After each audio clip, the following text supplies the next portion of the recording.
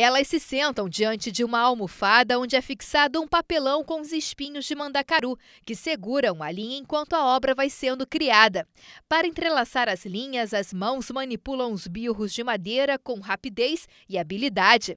A quantidade de birros varia de acordo com o modelo da renda, podem chegar a mais de 100.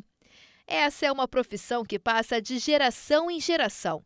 Dona Maria é rendeira desde os 10 anos. Tinha 10 anos de idade, aí minha família toda fazia, aí eu aprendi.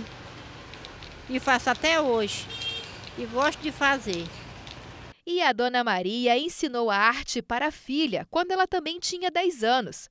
Rita diz que cada rendeira desenvolve a sua criatividade na produção das peças. E além de ajudar nas despesas da casa, o artesanato também é uma terapia. Eu aprendi quando eu tinha 10 anos com minha mãe. E eu faço até hoje, onde é um, é um modo de eu me sustento, onde eu tiro meu sustento da minha família, onde eu, eu adoro fazer renda. Não é valorizado, mas é uma arte que eu amo. É, nessa família a arte da renda de birro vai continuar por muito tempo.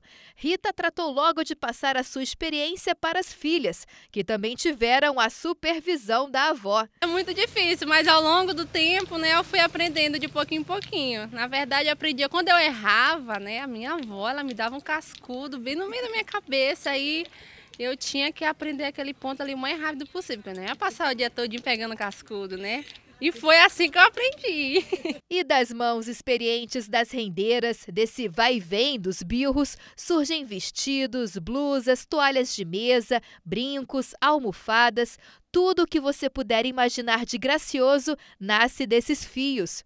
Uma peça dessas leva no mínimo uma semana para ficar pronta, isso dependendo da riqueza de detalhes.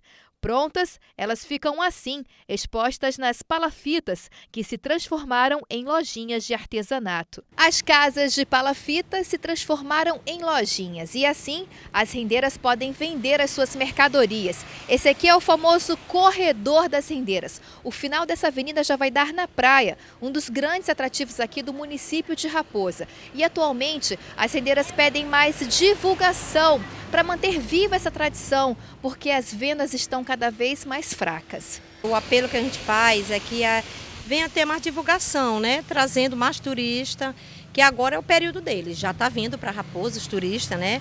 Fazer, olhar as rendas, o passeio náutico, que é muito bonito. Segundo o secretário de Turismo do município de Raposa, o poder público tem buscado alternativas para voltar a alavancar a venda das rendeiras. O poder público municipal tem, tem buscado não só promover, divulgar mais, né, como qualificar é, todos os nossos setores turísticos para que nós tenhamos um aumento do fluxo.